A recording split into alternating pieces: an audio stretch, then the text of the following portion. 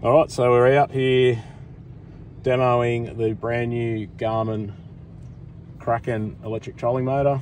Uh, this one's mounted to a center console bar crusher. It's the very first time this motor's been in the water. And given that fact, we need to calibrate the internal heading sensor. So we're using the GPS map screen here to do that. We're doing a compass calibration.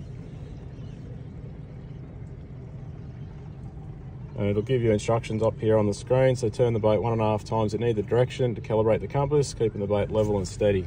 So these are the sort of optimal conditions that we'd be doing any sort of compass calibration in. No wind, no tide, um, and very little boat wash. So we're gonna, the boat in gear, and we're gonna start these turns. So moderate speed seems to work well the Garmin equipment. You get a slide bar across the bottom showing the calibration status.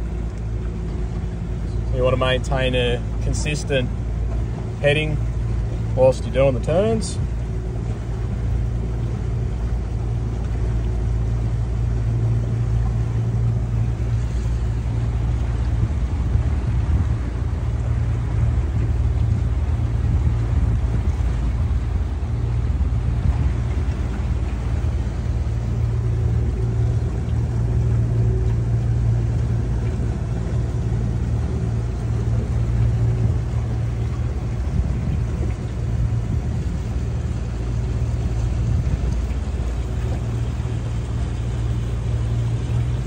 70% now, a little bit to go. We've almost completed one full turn. We're into the first turn.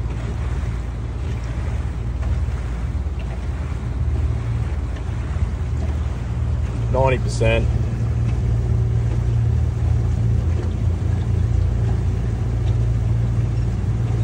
There we have it. It gives us a score. We've got a calibration score of 88. That's not bad. It's definitely going to be acceptable. We did have a little bit of boat wash come through while we're doing it. Um, if we had any discrepancy in heading, we can always very easily go back and do that and aim for a higher score. Uh, but 88 we can live with. We're happy. We're going to go and start using this Garmin Kraken and see what it's all about.